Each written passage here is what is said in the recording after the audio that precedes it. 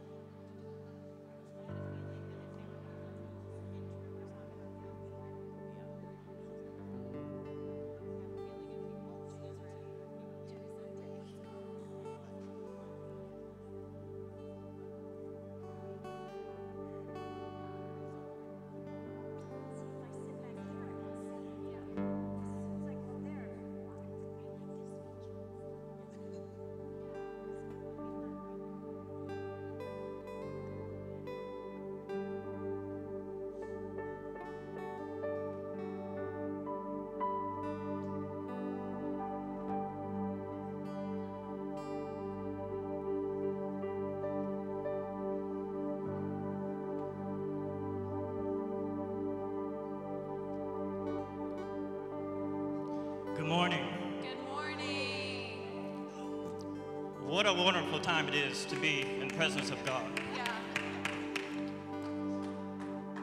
This whole week, I was wondering, you know, like, God, what are you, what are you doing in our church? Where, what is our, our mission? Where are we going from here?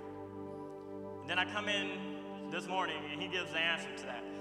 Okay, you know, when we got here this morning, we, you know, we do our rehearsal, and every song, every song spoke about heaven coming down. about being in the presence of Jesus, about being in his presence, okay? We came unwanting, but knowing that he is fully and utterly deserving of worship and praise. All the songs like that they're going to be singing are going to touch your heart. It's going to touch your heart in the core. I want you to think about that. I want to think I want you to think about being in the presence of Jesus, that encounter having Jesus. If you haven't had a Jesus encounter, you may not know what I'm talking about. But those who have had Jesus impact their lives, those who have had Jesus change their lives, change them from who they once used to be to who they are now. I know Christ has had such an impact on my life. I know Christ has had such an impact on so many others in the sanctuary's life right now. I know so many who've had been impacted by Christ just in this past two years. I know many that have been impacted by Christ just this morning. Okay? Our uh, very own Jesse McCorkle is going to be bringing the word today. That is an, that, that right there shows where we're going, right there. Natalie, Natalie is going to be having her second baby in two days, and she's playing on the keys today. That is the act of Christ. Such, so many things to be blessed. They got their whole family here. Okay? We have Pastor Trevor in the back giving honor to him. Pastor Rob in the in the sanctuary. God's doing a miraculous thing here. All right. Lord God, we thank you and we love you. And Lord God, we're going to worship you today, Lord God. We believe you for everything that you're doing, Lord God, and everything that you're going to do. No words can express the love we have for you, Lord God. Amen.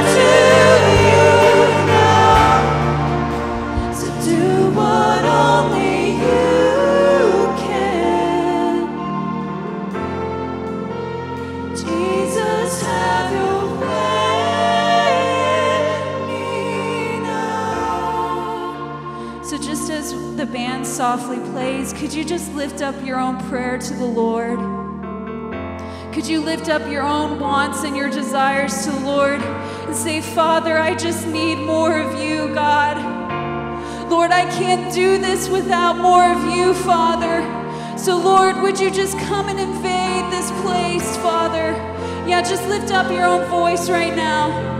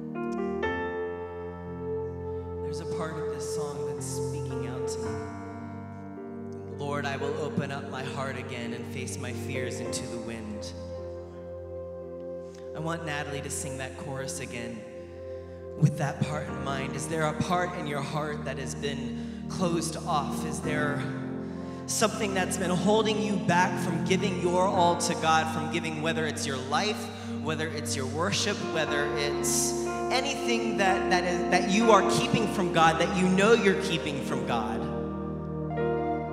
Out of fear, out of hurt, out of disappointment, out of offense, whatever the case may be, it's time to throw the fears into the wind and open up our hearts again to what He wants to do in our lives. And that's for us individually, that's for us corporately as a church. We cannot live in fear anymore, we cannot live in bondage anymore. We have to throw it all aside to chase Him fully and to follow the call that He has on our lives fully. Otherwise, it's just baggage that's weighing us down as we're trying to get to Him, as we're trying to fulfill our life here on earth. Lord God, we are desperate for a touch from you to set us free from all of that bondage, to set us free from the fears. We throw them to the wind. They no longer are weighing down on our shoulders anymore. We cast them aside. The enemy has no victory. He has been defeated. He is under our feet. He has been cast out into the wind, away from this church, away from our hearts, away from our minds, just where he belongs. The enemy has no hold in this church.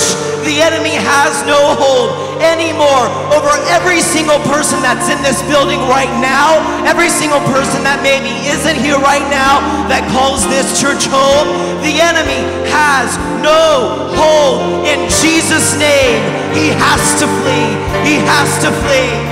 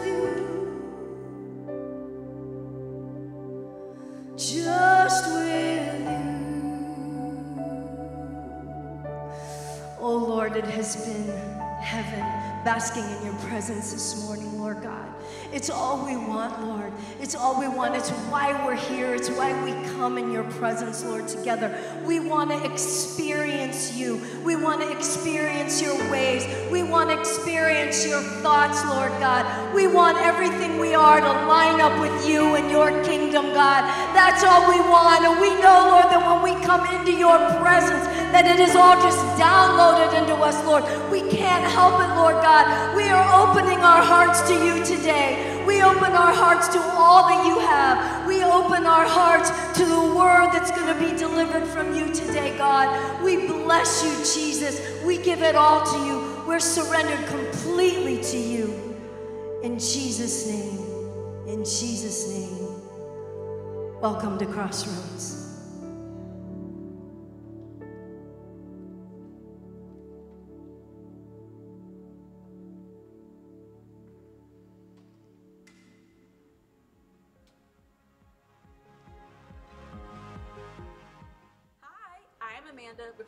Community Church, and here is what's happening for June.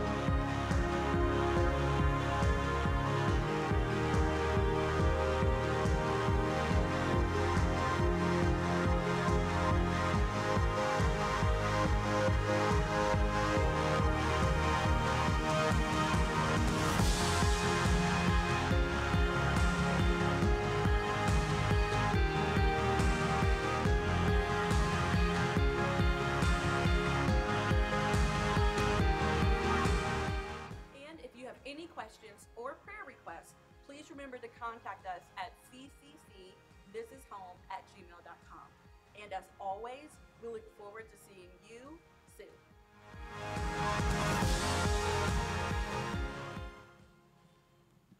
I am not Jesse McCorkle. Surprise. Hey, real quick, Larry asked if I would introduce Jesse. You're asking, Pastor Jeff, you're supposed to be on vacation. What are you doing here? That's right. There's no better place to be than home.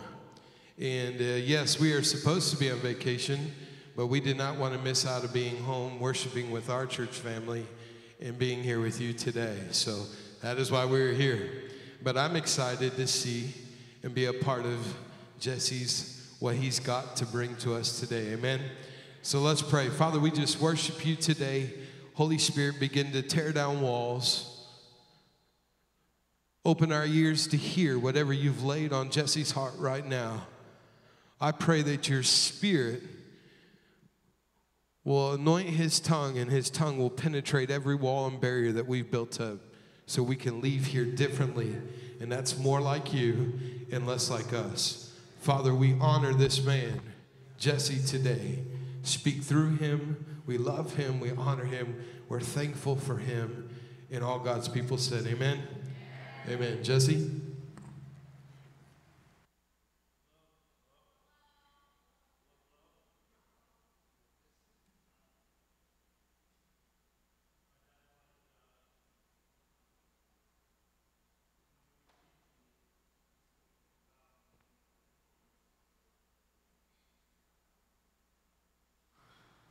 Hello?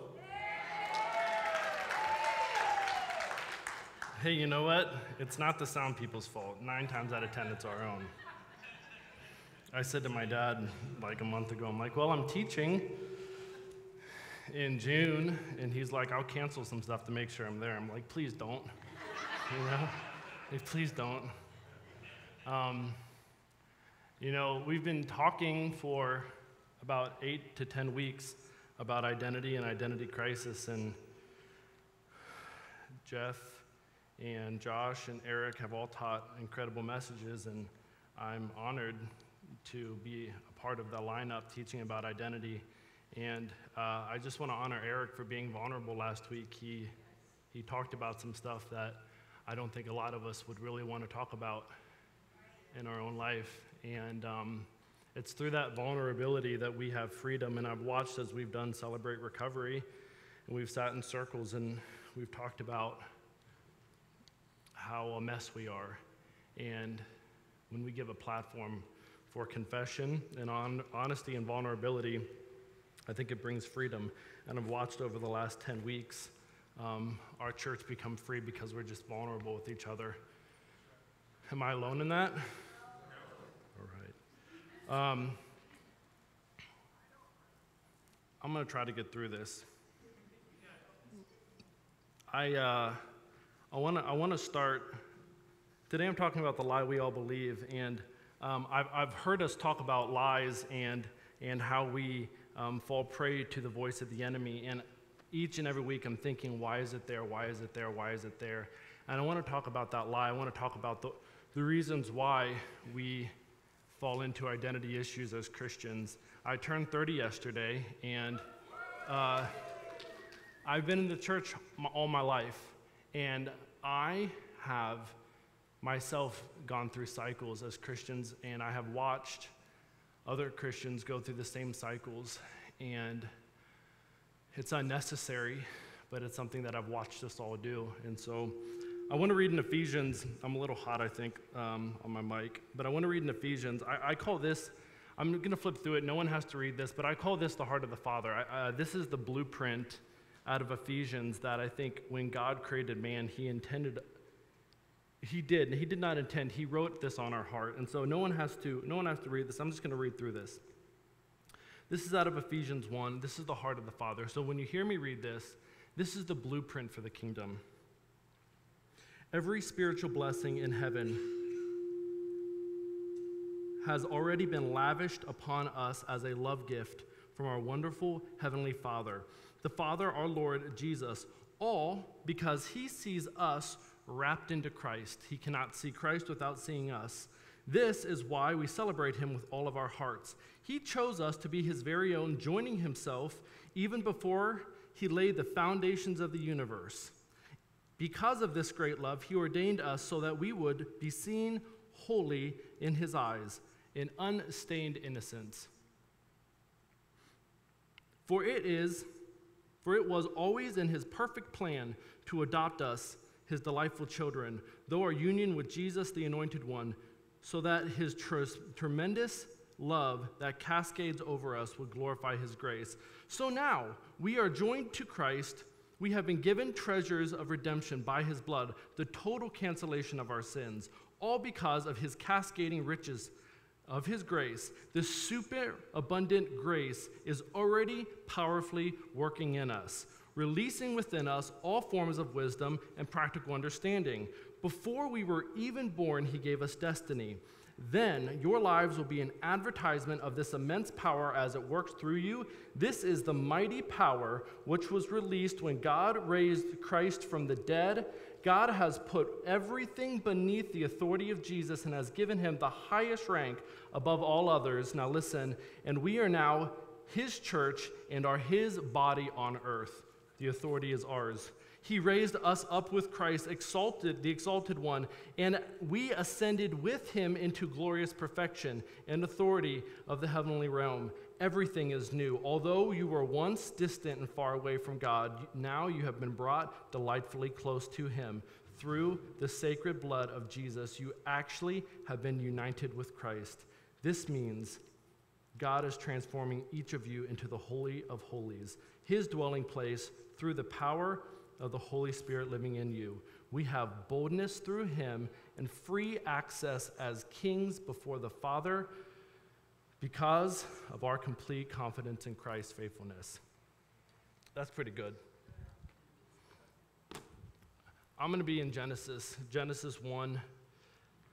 I figure I didn't really know what to teach, so I figure if I just read the whole Bible, I can teach it all. So I hope you guys have water because I'm starting in Genesis 1 and I'm in Revelation. It'll probably take six days. My, the only preparation I did is I download how to read the, the Bible in one year, and I'm just going to do it, try to do it in an hour. Okay. Genesis 1 1. The Bible said that God covered the face of the earth, it was void. Am I allowed to get this close, Larry? Am I going to ring? Oh, I'm good. All right. I'm not going to go through all their creations, but God spoke into existence by command everything that we see around us. In verse 26, God said, Then God said, Let us make man in our image, according to our likeness. That was not a command. For the first time, it was universal agreement. Let us. It was a, the Trinity was coming together saying, We are going to lean in and create mankind. Some verses, additional verses that I think that maybe God wrote on the heart of Adam as he was creating Adam, the DNA in Adam. Psalms 139, 13 through 16. You form my innermost being, shape my delicate insides, my intricate outside, and wove them all together in my mother's womb. I thank you, God, for making me so complex. Everything you do is marvelously breathtaking. It simply amazes me to think about how thoroughly you know me, God. You formed every bone in my body. You created me in the secret place. Carefully, skillfully, you shaped me from something or from nothing to something. You who created me before I became me, before I'd ever see the light of day, the number of days you planned for me were already recorded in my book. Titus 3:5 He came to save us not because of any virtuous deed we've, we've done, but only because of his extravagant mercy. Isn't that nice? He saved us, resurrecting us through the washing of rebirth. We are completely new by the Holy Spirit, whom He splashed all over us richly. By Jesus, the Messiah, our life giver, so as a gift of His love. And since we are faultless, innocent before His face, we can now become heirs of all things, all because of an overflowing hope of eternal life. Psalms 42 8. All through the day, Yahweh has commanded his endless love to pour over me. We don't think about those things. Isaiah 54 10. Even if mountains were to crumble and the hills disappear, my heart's steadfast, faithful love would never leave you, and my covenant of peace with you would never be shaken, says Yahweh, whose love and compassion will never give up.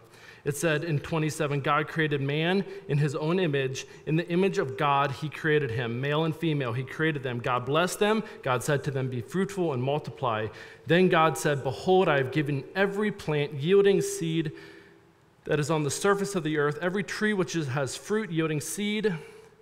It shall be food for you, and to every beast on earth and every bird in the sky moves on earth, which has life, I have given you. 31. God saw that he what he had made and behold it was very good there is a moment in history where god looked at you each one of you and said this is good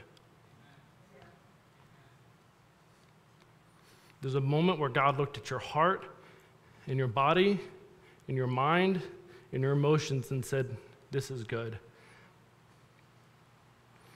I remember when we had Isla, we're about to have another one in three days, and I remember holding Isla, and she had no purpose on earth yet.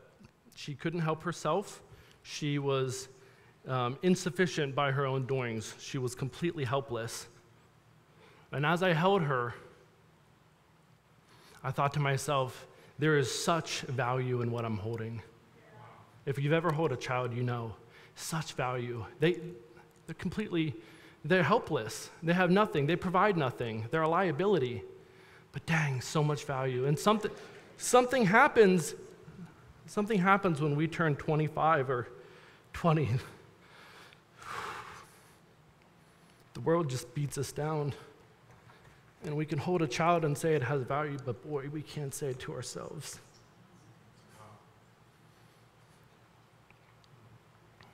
We have to learn to be delighted in our existence.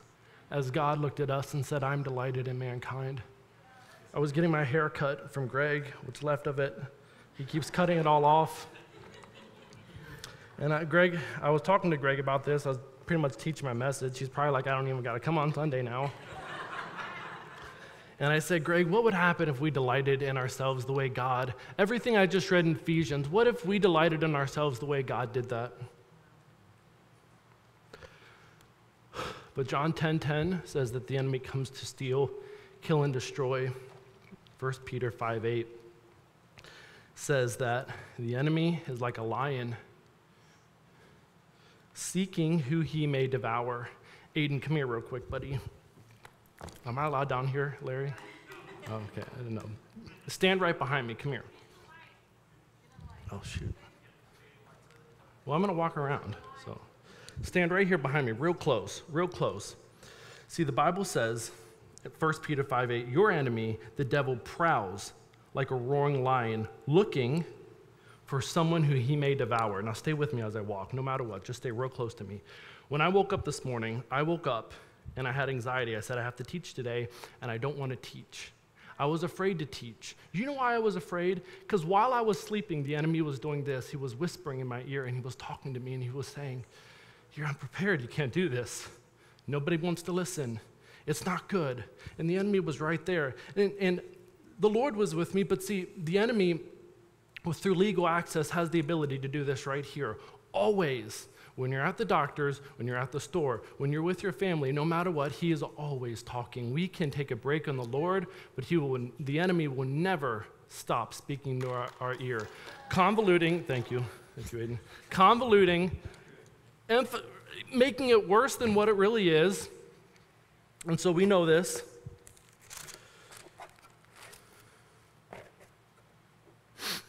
The enemy's number one lie is to contradict the Word of God. Check this out. Verse 25, the Bible said, And the man and his wife were both naked, but they were not ashamed.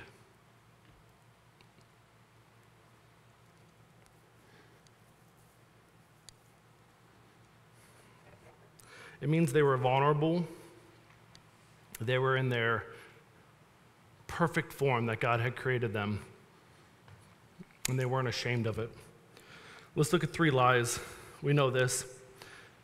The enemy came to Eve, and in Genesis 3:1, the enemy says this. So God said, You shall not eat from any tree in the garden.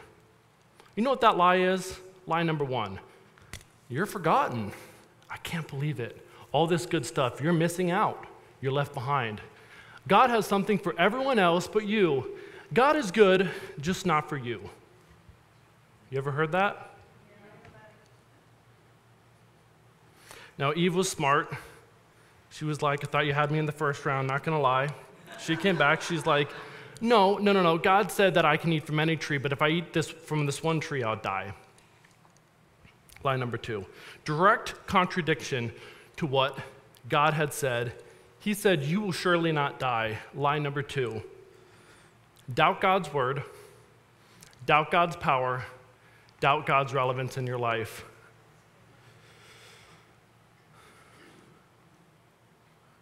Well, God has power for them.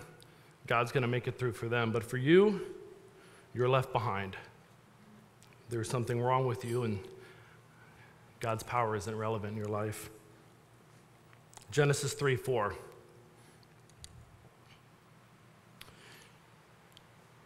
If you eat the fruit, you will be like God. You know what's interesting about that? She was already like God.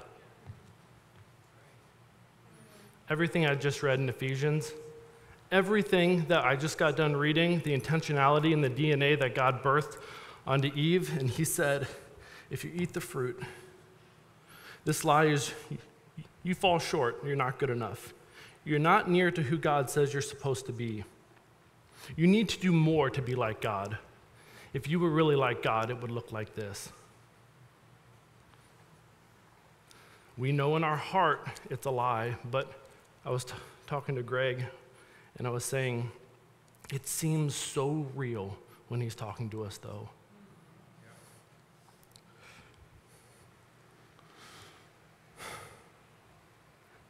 So Eve bought the lie, she believed it. Genesis 3 7 says, The eyes of them were opened, and they knew that they were naked. Genesis 2:25 it said that they were naked and felt no shame. Now their eyes were opened. Do you know what open eyes means? They discovered self-consciousness, insecurity. Look at the definition.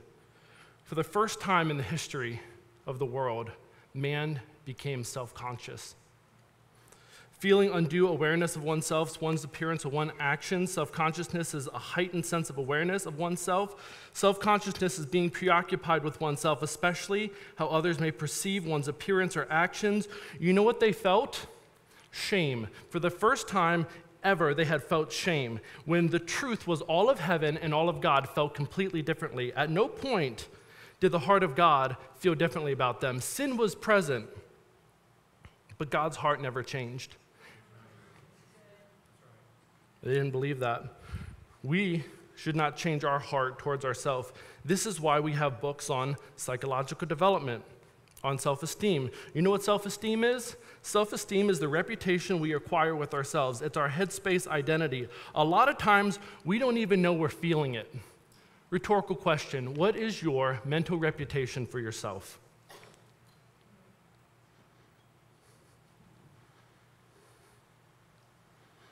Do you feel appropriate for life?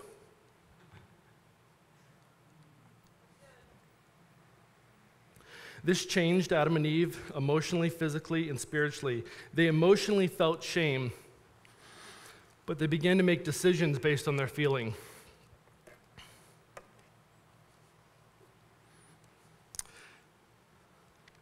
It said in 7 Then the eyes of them were both opened, and they knew that they were naked, and so they physically made decisions. They sewed fig leaves together and made themselves loin covering, and then they spiritually separated themselves from God. You know, the enemy will say that it's your decisions that separate you from God.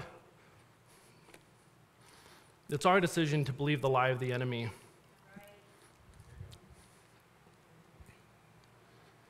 I love this.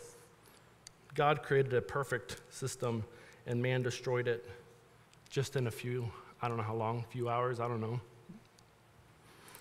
In God's response was he searched for man on man's level. Once again, like a good father. It said in verse 8, they heard the sound of God walking in the garden in the cool of the day. And the man and his wife hid themselves in the presence of the Lord God in the trees of the garden. How sad. Then the Lord called out to man and said, Where are you?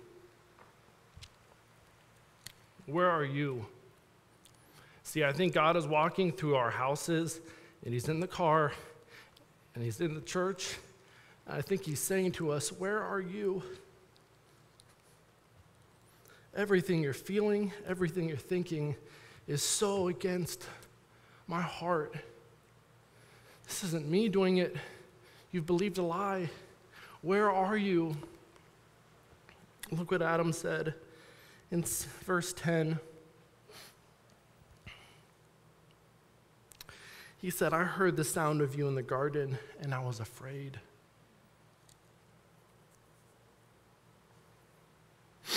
I was afraid because I was naked, so I hid myself. I was afraid because I was ashamed of who I was. For 30 years, I've read this and I thought that they hid from God because of sin.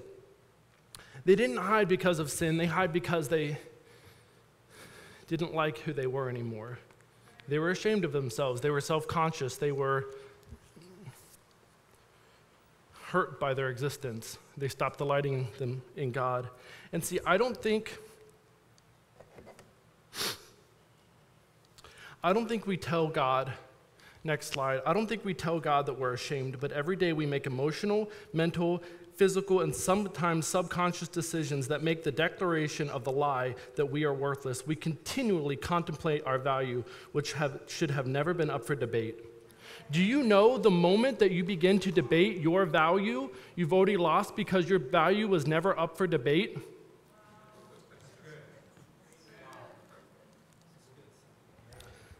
Genesis 3:13 Eve responded to the Lord, "The serpent deceived me. I was deceived. We all are deceived." You see, I don't I don't think we tell God. I hate myself. I don't think we tell God I'm ashamed of who I am. But I think we get up in the morning and we doubt what we're about to do. Declaration. I think we look t- two or three times in the mirror because we don't like what we look like. Declaration.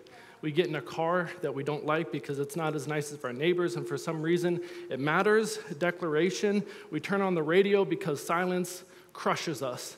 Declaration. We sit in rooms and meetings with people that we're intimidated by because we've never felt as good as them. We never tell God, I'm ashamed of who I am, but we make a lot of decisions that tell God, I'm ashamed of who I am. Every single day. Look at the next slide. All of life resonates the lie from the enemy. One more car, if you buy this grill, if I could get this promotion, one, if I could look like this person, one more sexual experience, one more like on Facebook, everything on TV, internet, magazines continually rebound the lie that you have to do better. You have to do something outside of just existing to be like God. All of life rebounds this every day when we get up. It's driven into our subconscious now. We're making subconscious decisions. We go into defense mode. And in the process, we defend ourselves from God, who's walking on our level. Look at God's response.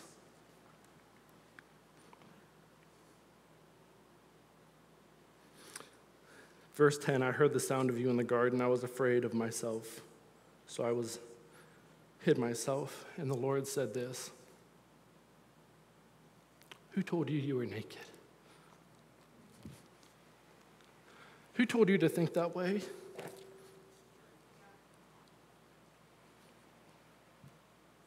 Who told you to think that way? The great lie from the enemy is that we, the perfect pinnacle of God's perfect creation, are flawed. Question Where are you prone to this thinking, and how does it change your thought life, your behavior?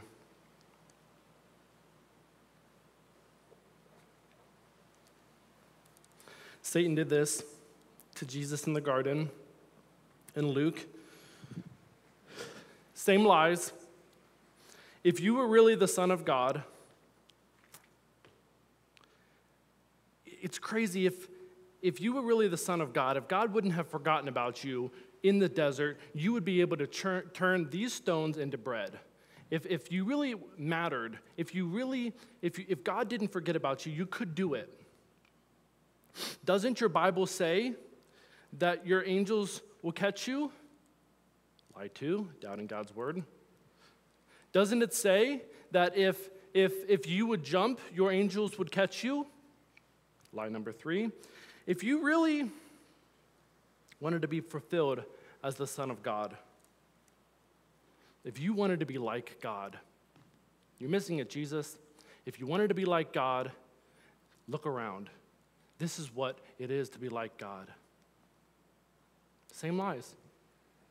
Jesus replied in 12, It's also written, How dare you provoke the Lord your God?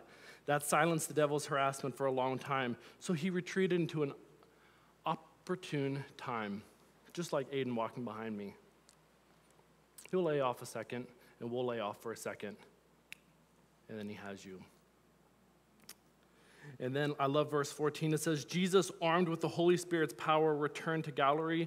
Galilee. Why did Jesus leave the desert after facing the same situation empowered by the Holy Spirit, though? What was different? How did he go through something that the Bible says the Holy Spirit led him into the desert, so he was obeying the Lord, got punched in the teeth three times, and then walked out of that situation filled with the Holy Spirit because he didn't believe the lie? We walk through things constantly in life that will challenge the identity in our heart.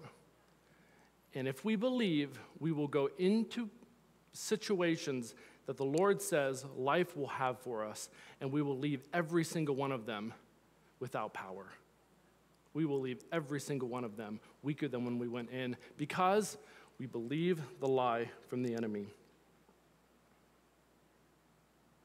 God has ultimate power, but we have to let Him in. We must shift our thinking. Remember the beginning of the message, the original design in Ephesians. This is the heart of God. This is, this is truth.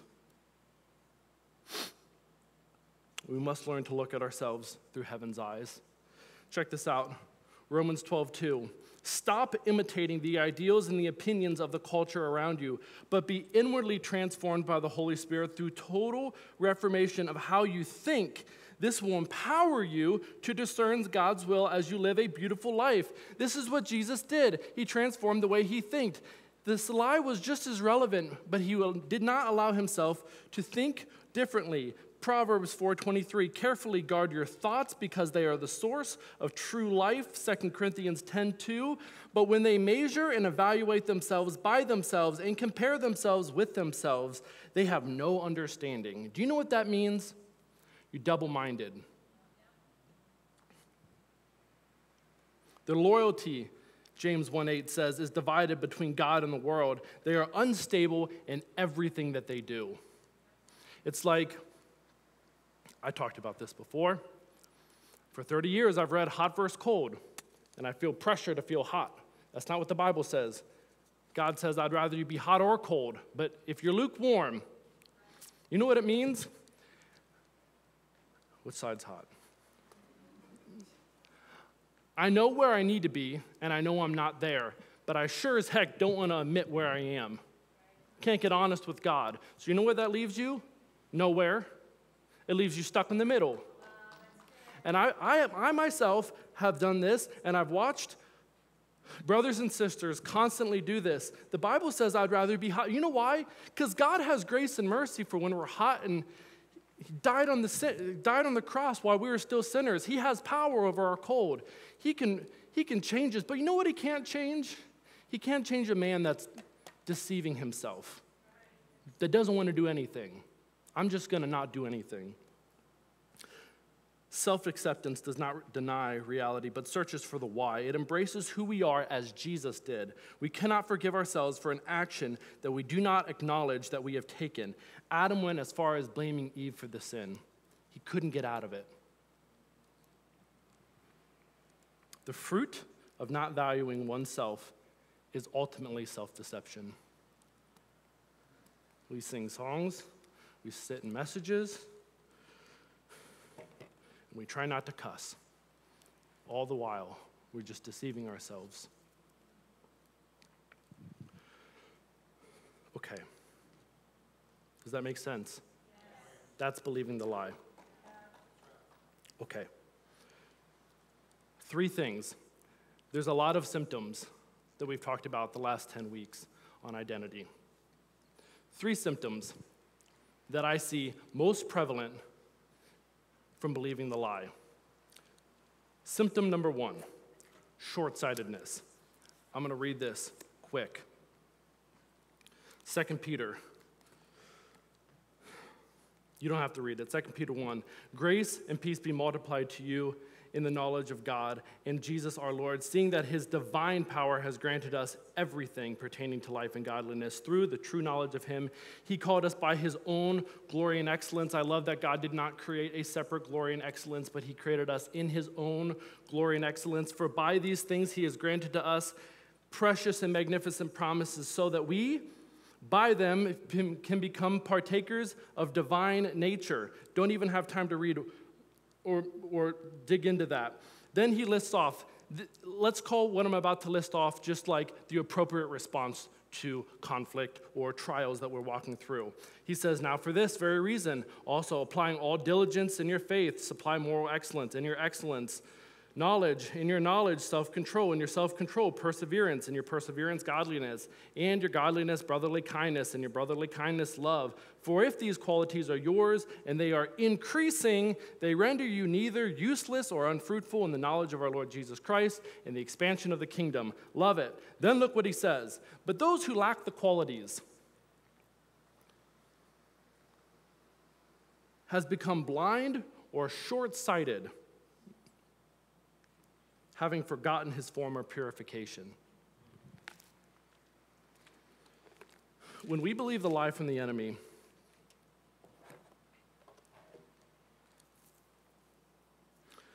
we make decisions for the now. When Paul says, keep your eye on the race for the prize to be had in the coming days, we make decisions that are, are we feel are necessary right now. We're confused, we're short sighted. We have lost our purpose, our identity because we've listened to the lie. We're attempting to be like God. Television's on, we're going to work. It's all just in our head. Rage and rage and rage.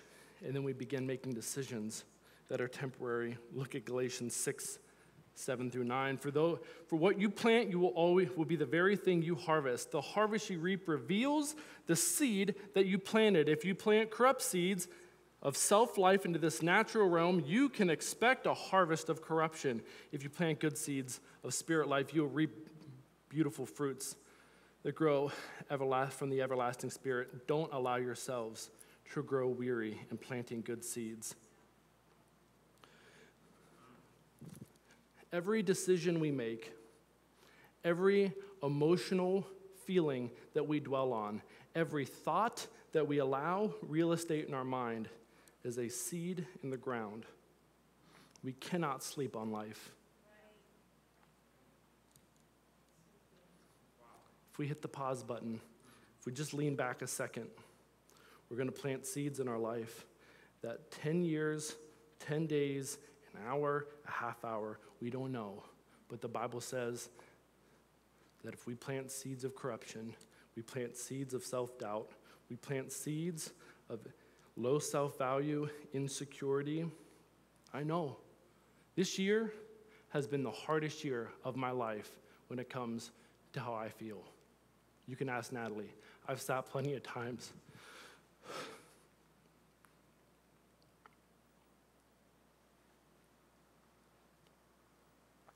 Crying in bed.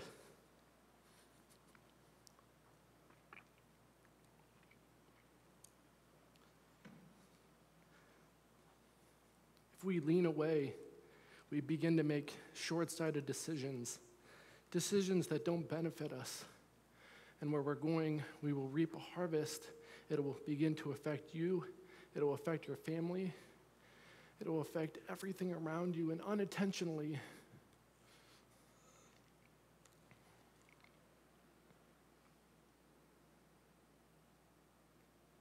every thought, every decision matters. Look at this quote by John Bevere The real threat is not our adverse circumstance, but the wrong beliefs and the thoughts that try to slip in during a hardship.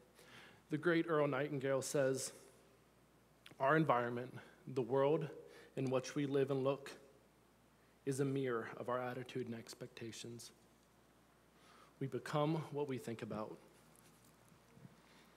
And if you plant seed in the ground and you don't think the way God has called us to think about ourselves, we will reap a harvest that the enemy is standing right behind us just to make it worse. Second lie. Second symptom, I should say. We read the Word of God, believe ourselves out of it as a beneficiary. Check this out Matthew 7 12. In everything you do, be careful to treat others the same way you would want them to treat you. In light of God's love for you specifically in everything that we talked about this morning, how we view ourselves is just as important on how we treat others. If we were, we were really good at guilting ourselves into loving others, but when it comes to us, we just don't think about it. It's 50 50 in that verse. It doesn't say, if you were really godly, it says, love others the way you would want to be loved. Oftentimes, I think we treat others badly because we don't love ourselves. But moreover, we don't cut ourselves any slack. It's easy to come to church and serve. But we're standing in a mirror 15 minutes before we got here, it's something different. Check this out. Ephesians 4:29, our youth group's verse. And never let ugly or hateful words come out of your mouth, but instead let words become beautiful gifts that encourage others, and do this by speaking words of grace to help them. How about us? Let's read it this way. Never let ugly or hateful words come out of your mouth, but instead let your words become beautiful gifts that encourage you, that declare life over yourself. See, I know when I was writing this, I thought this is too much about us. This isn't, this shouldn't be taught. It's blasphemy. Because we should deny ourselves and love others. There's plenty of messages, and I still haven't got it after 30 years. I've heard all the other messages.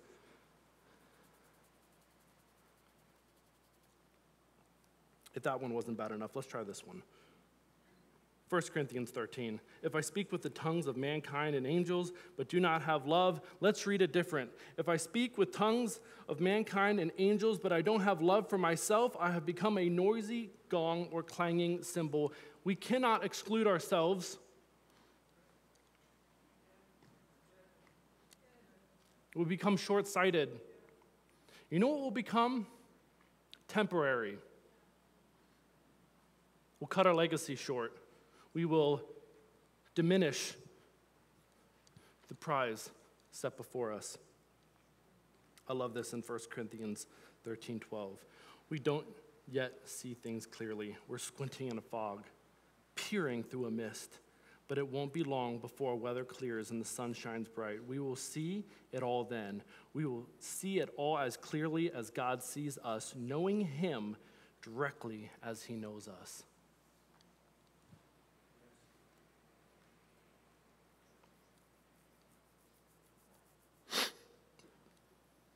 Just have to put context. There's plenty of messages about loving other people, about our due diligence as Christians, about rejecting sin and living purely. But today, this is about how we treat ourselves. Number three, symptom number three, we'll be distracted and unfulfilled in life. History has shown us that man has not stopped searching for the very thing that God started with. Instead of living our destiny, we live distracted, searching for what God has already promised and created in us. We're either striving to be great or we're beating ourselves down for nothing. We're either seeking love or avoiding it. We cannot live confidently if we're actively ignoring God's call to love ourselves as He first loved us.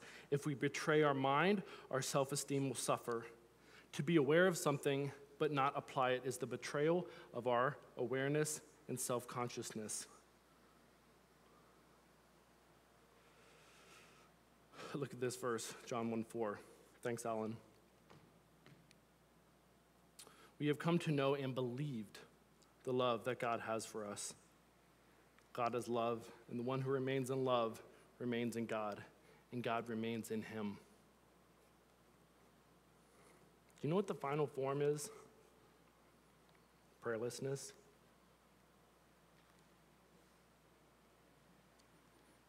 When God, Jesus ascended to heaven, he said, I, I'm sending you the Holy Spirit as a comforter. That communion with God is called prayer, where we can maturate in the Holy Spirit, be spoken to and speak. The final form is prayerlessness, where we don't do either.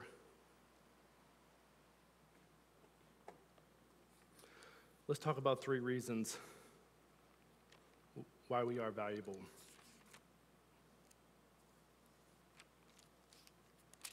I pulled my pen out. Just promise you it was here. Listen to this in Isaiah. Do you not know? Have you not heard the everlasting God, the Lord, the creator of the ends of the earth, does not become weary or tired? He is understanding. He gives strength to the weary, and to him who lacks might, he increases power. See, the enemy won't let you think about this. He'll trap you, he'll make you, you'll, you, you'll feel something, and then he'll make you feel bad about feeling that. It's like, hey, dude, you did this. He's like, oh, I can't believe you feel that way. What if they knew about that? Do they know that you're experiencing those emotions? But God does not become weary or tired. When we are weary, He gives us strength. When we lack might, He gives us power. It says in 31, we will gain new strength and will mount up with wings of eagles. We will run and not grow tired, and we will knock, walk and not become weary. I love this. Philippians 4 6 through 8. Don't be pulled into different directions or worried about a thing. Be saturated in prayer throughout each day, offering your faith filled requests before God with overflowing gratitude. Tell Him every detail of your life. Then God's wonderful peace that transcends human understanding will guard your heart and your mind. We just got to be honest with God. When's the last time you told God, God, I am angry? I, I am hurt. I'm frustrated. See, line number three the enemy's like, you better not pray to God in the condition that you are. He better not know that you're mad. He better not know that you're hurt. That's not the way you're supposed to look. That's not the way you're supposed to be like. You know that. You've been in church for 30 years. You can't be honest with God. If, if you pray again at the altar, everyone's going to see there's no margin to love ourselves or be, to be honest with God. But Philippians says, tell him every detail of your life. Then God's wonderful peace that transcends human understanding will guard your heart and your mind. Through Jesus Christ, keep your thoughts continually fixed on all that is authentic and real, honorable and admirable.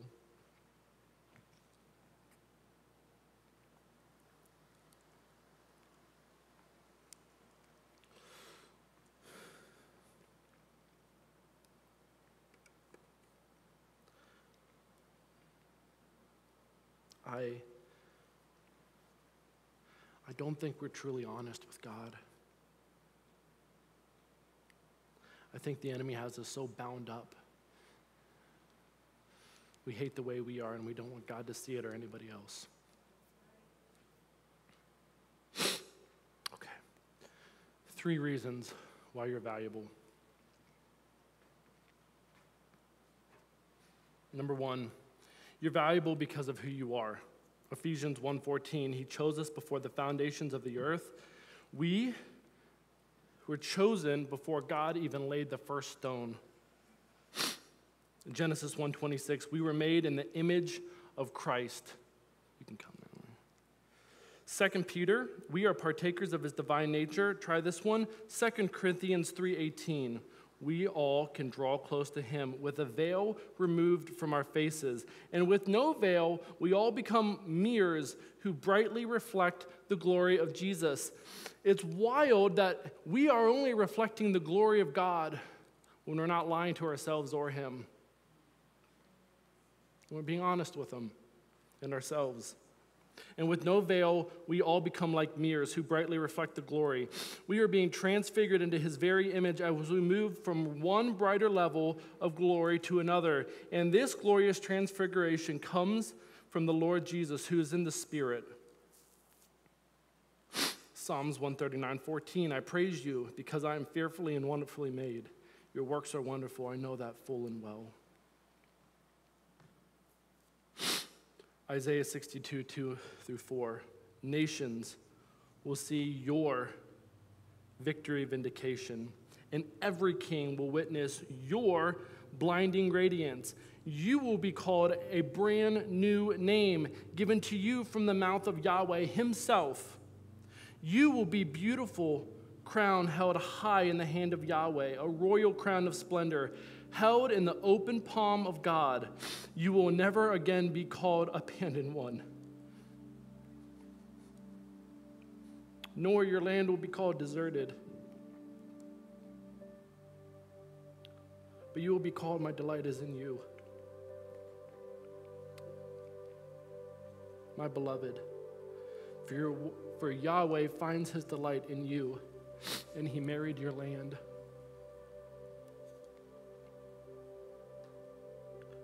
Song of Solomon 4 9. This is God, Jesus, talking to us. For you reach into my heart, and with one flash of your eyes, I, Jesus, am undone by your love. My beloved, my equal, my bride, you leave me breathless. I am overcome by merely a glance from your worshiping eyes. You have stolen my heart. I am held hostage by your love, by the graces of the righteousness shining upon you. That's Jesus. What a description of what happens to Jesus when he looks into our eyes. Your worship brings him such delight that it becomes hard to imagine, yet God has placed inside you the ability to touch the heart of your king. We're valuable because of who we are.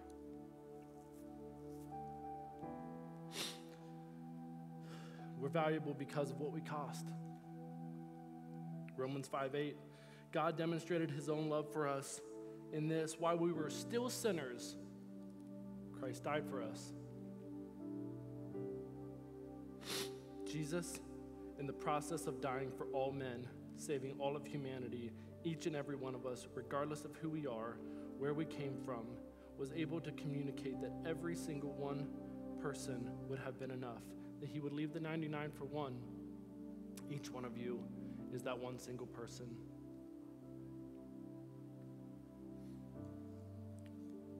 You hear the enemy now?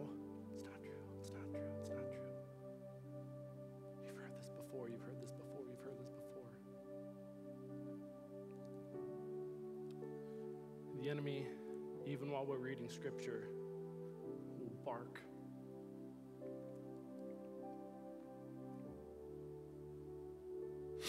This quote by J. Kenneth Grider.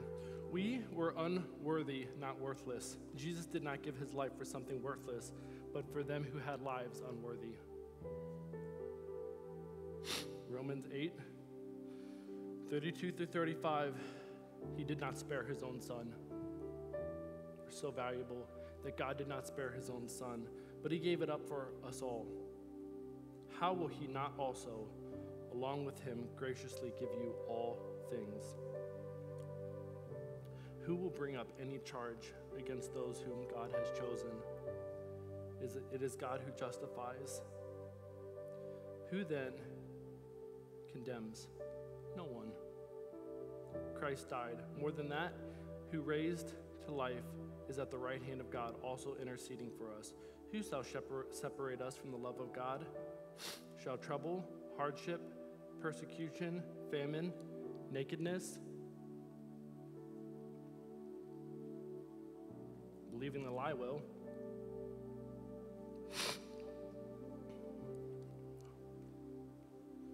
Reason number three, we're valuable because of what we can become.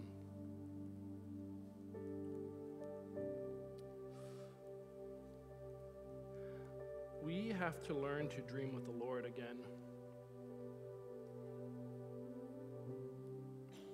I'm challenged when I ask myself, do I dream enough?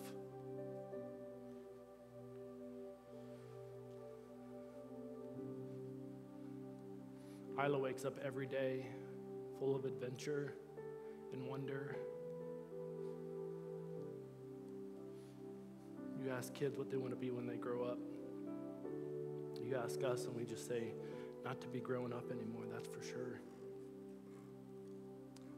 I think there's something wrong with that. That's why yesterday or Friday, when Greg's like, hey, what are you doing for your birthday? I said, nothing.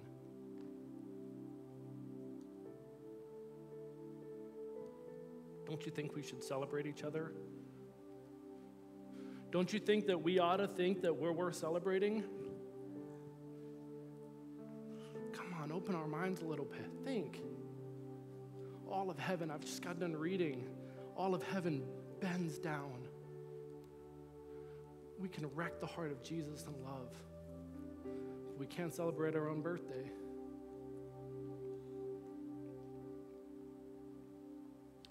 Romans 5:17. Sorry. All who receive God's abundant grace, empowerment, there's mercy and there's grace. Mercy is God forgiving us for what we did wrong. Grace is giving us a gift that we did not deserve. That is empowerment. All who receive God's abundant grace, empowerment, are freely put right with Him and will rule in life with Christ. We don't think that way anymore. Here's another translation Death once held us in its grip. By the blunder of one man, death reigned as king over humanity. But now, how much more are we held in the grip of grace, empowerment, and continue reigning as kings in life, enjoying our regal freedom through the gift of his perfect righteousness in the one and only Jesus Messiah, Deuteronomy 28 13. God called us to be the head and not the tail, to be above, not below. We don't think this way anymore.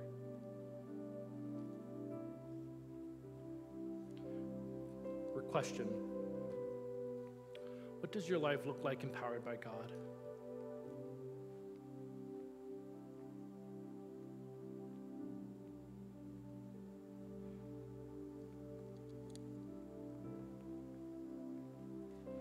Look at this quote, Kris Vallotton.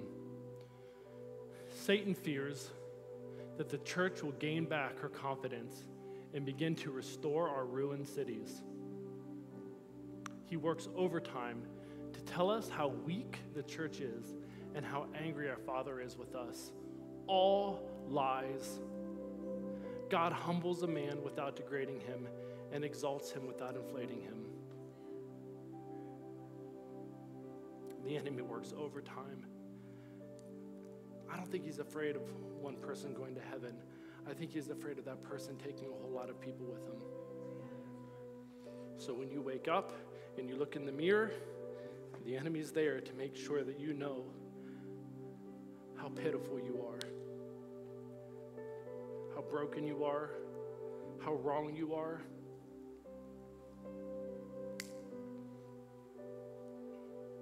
How you should be doing better.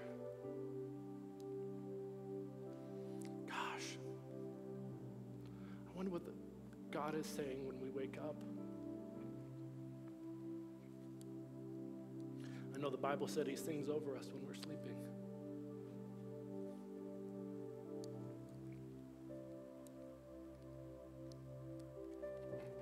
Luke 7:28 I tell you among those born of women there is no greater than John the Baptist. Yet one who is least in the kingdom is greater than he.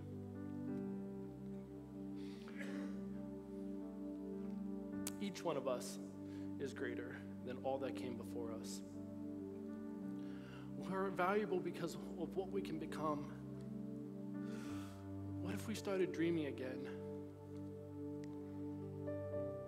What does dreaming with God look like? What does it look like in your relationships? What do empowered relationships look like? What does dreaming with God in your finances look like? What does grace empowerment mean in your personal achievements?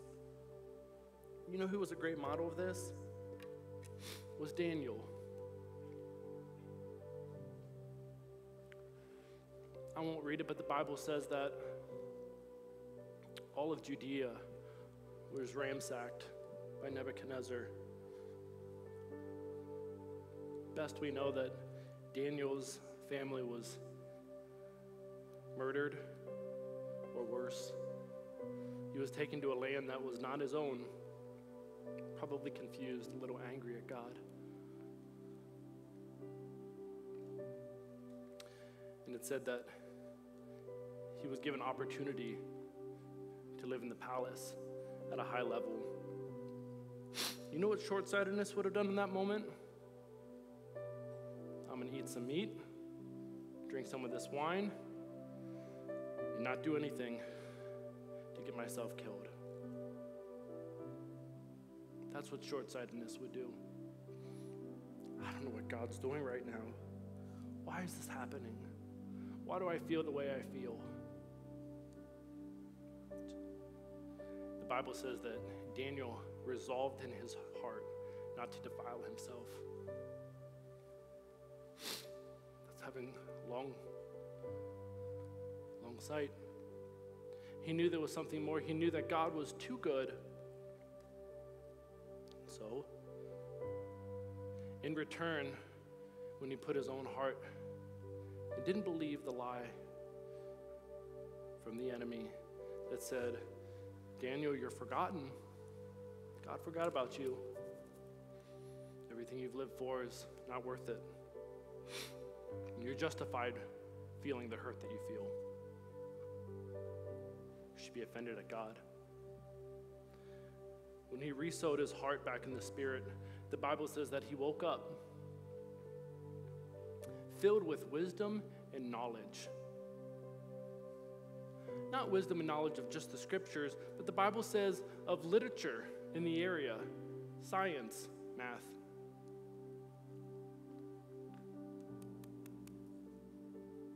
He resowed his heart. And as James 1 says,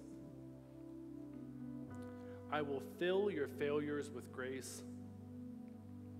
He was filled with grace empowerment and 2x himself, 10x himself. He became incredible. And when, so when I think about dreaming with God, I think, what are we missing out on? What's on the other side? I firmly believe that everything that we want in life is on the other side of the lie. It's just on the other side. All we have to do is receive what God has already given us. We don't have to try to be God. God wrote it on our heart. Isaiah 41:10 So do not fear for I am with you. Do not be dismayed for I am your God. I will strengthen you and help you. I will uphold you with my righteous hand.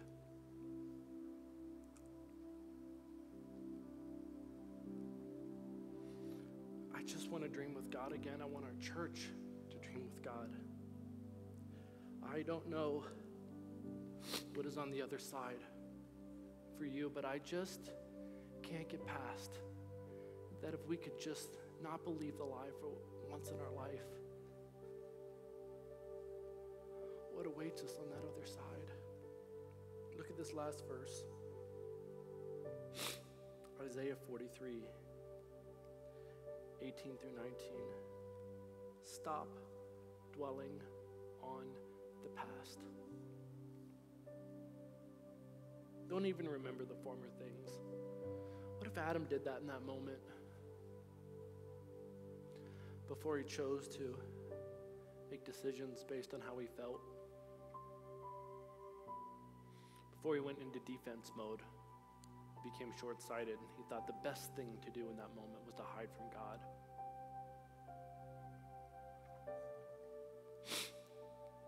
Stop dwelling on the past. Don't even remember the former things. I am doing something brand new, something unheard of. Even now, it sprouts and grows and matures.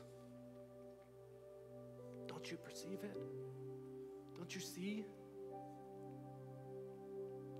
I will make a way in the wilderness and open up flowing streams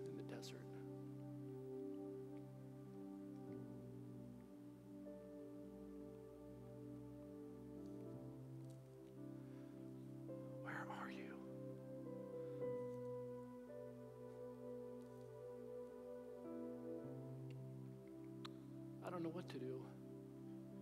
I don't know if we should pray or I think half of this is having awareness of what truth is, what God's intentionality is. If you've been lied to a long time, sometimes you don't feel like you have an option. Sometimes you don't even know you're believing. So I think half of it's the awareness that there's a right way of thinking, there's a right way of feeling, there's a right way to believe about yourself. That God in heaven has never changed. We've been lied to and we've robbed ourselves. We make decisions that we feel are just the best given the circumstances. And we plant seed in the ground that we have to reap a harvest of. We're so lost, spiraling out of control. God's saying, Where are you? I'm afraid. I'm afraid God will see me for who I am. I've always been afraid of the way that others perceive me. So we hide from God. And a month goes by, and a year goes by, and 10 years goes by, and we're stuck in the middle. We're afraid to admit what we've become. We feel pressure to feel of what we should be when all the time God is saying, Who taught you to think this way?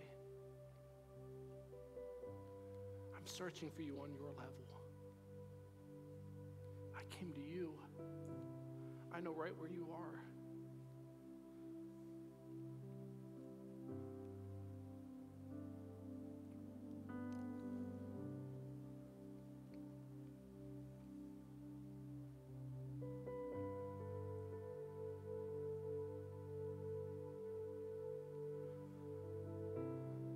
Half of it is the awareness of what truth is.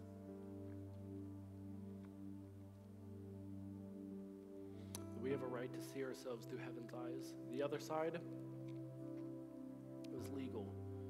We've given the enemy access to our mind and our heart.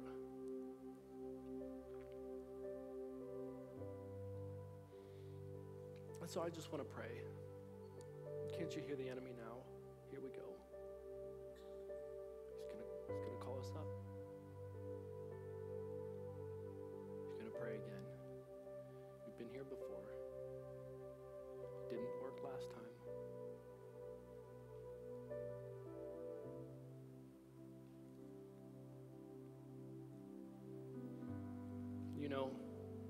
It would be awesome if we had people come up and tell God that they're angry.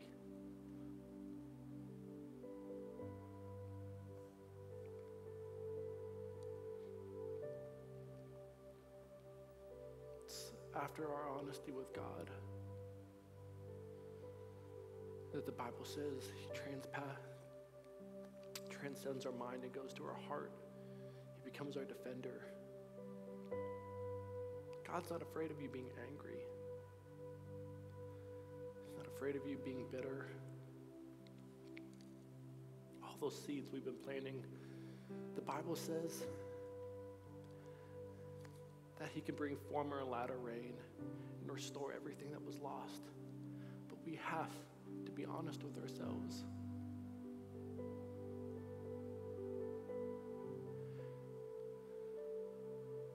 So if you just want to be honest with God, I want to pray. Well, Alan and Jeff, if you guys want to be up here, if you just if you want someone to pray, I'll tell you what, if you're angry at God, why don't you go to Jeff and just treat God as Jeff and say, I'm angry. I'm so bitter.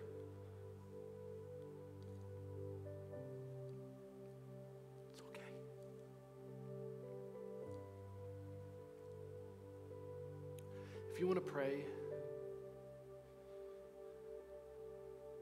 then just come up right now. Let's just spend a moment in prayer while Natalie plays this song and be honest with God. Don't listen to the enemy. You know what the enemy is telling me? No one will come up. Wasn't good. And he's telling each of you something as well. Deserve to be right. You deserve to feel right.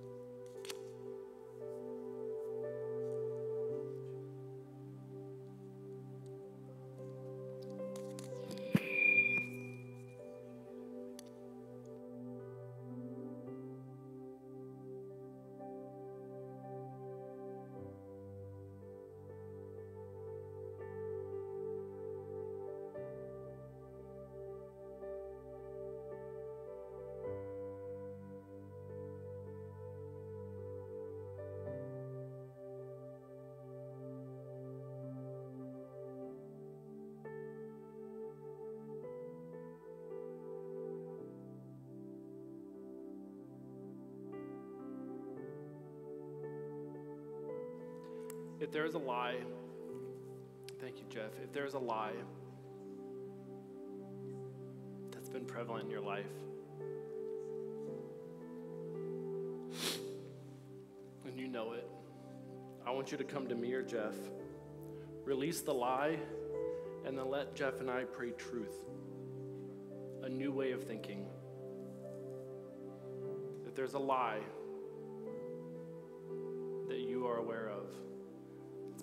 life. Release that lie. And let us just speak truth